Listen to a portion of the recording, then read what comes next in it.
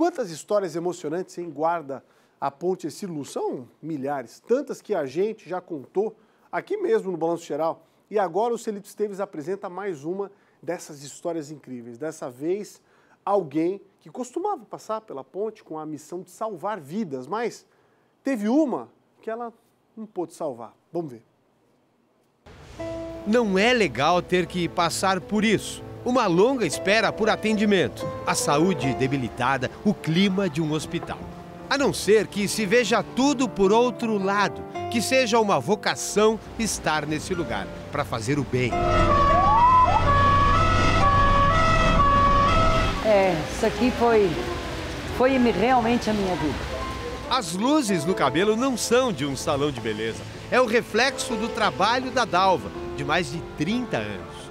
Mas hoje, aposentada, a que se deve o retorno dela ao hospital? Eu vim aqui contar uma história porque eu fui uma das últimas a passar de ambulância pela Ponte Ercílio Luz e contar minha história um pouco de hospital. Vai ser um prazer conhecer as memórias da Dalva, as passagens pela Ercílio Luz numa emergência. A ponte já estava fechada para carros. Só era permitido passar de moto, bicicleta ou a pé. Mas eram vidas em jogo na ambulância. O trânsito era pesado, como é até hoje, né, ainda? Sim. Na época era bem pesado o trânsito também, então por isso que nós viemos tentar passar naquela noite. De ambulância, numa época Aham. já em que os carros não passavam não mais. passavam, não passavam. Mas a ambulância passou. Passou. É um bom senso, né? É. Emergência, É. tratando Emergência, de paciente- salvamento de pessoas. Paciente dentro, né? Então não tinha como. Certo. Quer dizer, pra, pra você é uma lembrança marcante essa. Para mim marcou, porque estava fechando, né? Tá fechando. Fechando e tá de reforma. volta aqui agora. É. Tá bonita, hein? Tá bonita? Quando você passou aqui, o chão era de madeira, Era de madeira. né? Era de madeira. Era 1991. Quase 30 anos se passaram. As lembranças agora caminham numa plataforma de ferro. Entre tantas na mente da Dalva, ficamos surpresos com uma em especial. O retorno da Dalva à ponte Ercílio Luz desperta felicidade, uma alegria, sim, pelos salvamentos, por uma vida dedicada a auxiliar de enfermagem. Mas, ao mesmo tempo, traz de volta muito forte o sentimento mais sofrido da vida dela.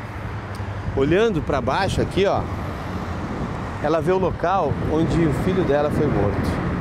Exatamente embaixo da ponte. Quatro anos se passaram desde que o Guilherme, de 15 anos, foi atropelado.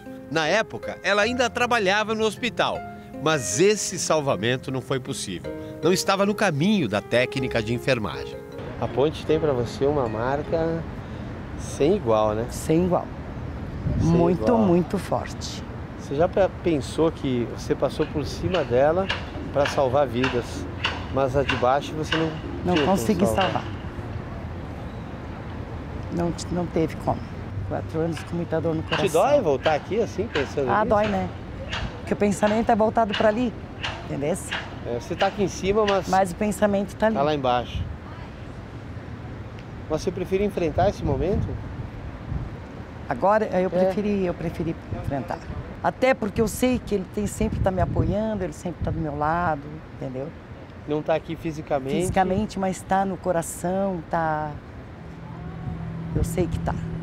Não é fácil reagir diante de um trauma assim. Ainda mais quando a justiça puxa o freio de mão. O processo que a Dalva abriu para punir os motoristas não foi para frente. Mas ela está na luta ainda para vencer a dor e manter sempre viva a memória de tantas vidas que salvou. Está aí mais uma história que envolve por completo a velha senhora Ercílio Luz.